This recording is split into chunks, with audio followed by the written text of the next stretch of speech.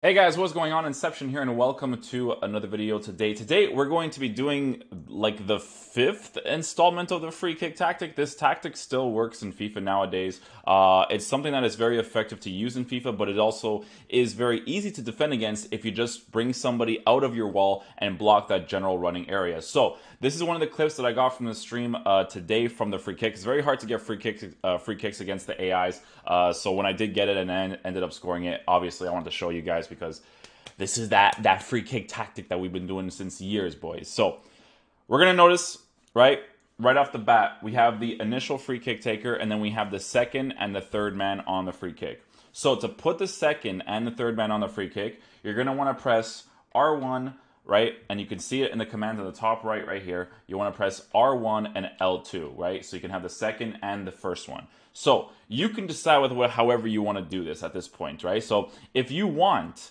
the initial person to take the uh, or to make the run, if you want De Bruyne to make the run in this space right over here, what you would do is you would just do a fake shot, BA, just a nice little fake shot, right? Once you do the fake shot, your De Bruyne will make that run. As your De Bruyne makes the run, so you're doing the fake shot and your De Bruyne makes the run, when he's halfway to approaching the ball, you want to aim your thumbstick this direction and you want to be spamming the A pass, right? So that it goes towards him. So in this situation right here, I believe I do end up using De Bruyne. So the first one, he makes the run. I try to get a player that's actually better in finishing. So I put Sane on the left just in case I want to decide to go to the left side or to the right side, right?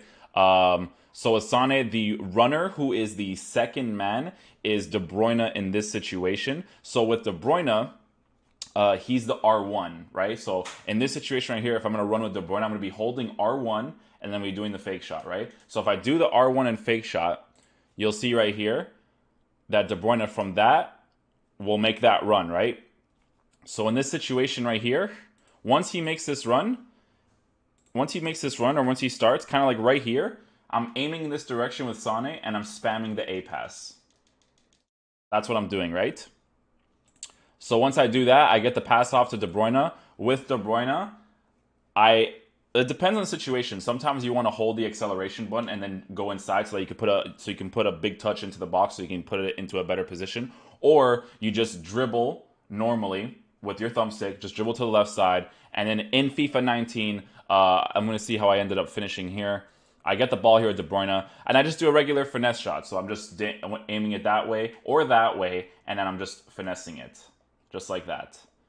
Because De Bruyne also has a five-star weak foot, so he'll hit that with his weak foot as well uh, to score into the back of the net. So if you're in a situation like this, right, in the beginning, so like I said, if your initial free kick taker is De Bruyne, if you want him to make the run, you'll do this, right? And then he'll make the run to the right side. You'll aim your thumbstick to the top right, and you'll be spamming the A pass as he's making the running animation, right? You don't want to do it too early. You want to do it at the right position, right? You just got to spam it to him, uh, and then once once the animation of Sane doing the pass comes off, you don't have to spam A, the X or A anymore, right? So he gets the ball, receives it, can shoot it. In this situation right here, I can decide to do this with Fernandinho, but you can tell right now that um, Fernandinho is not the ideal player to have in that position uh, to do a left-footed strike to cut inside, right? So if, if I'm using Fernandinho in this situ- situation, I'm holding R1 and then I'm doing the fake shot, right? But obviously, I prefer to have Sane in that position because Sane is an actual left-footed player, so he would be better. That's why I switched uh, on this free kick to Sane because it would be Sane De Bruyne.